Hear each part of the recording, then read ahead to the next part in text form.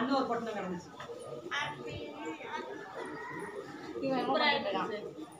நல்லா இருந்துச்சு நல்லா போட்டு எடுத்துட்டா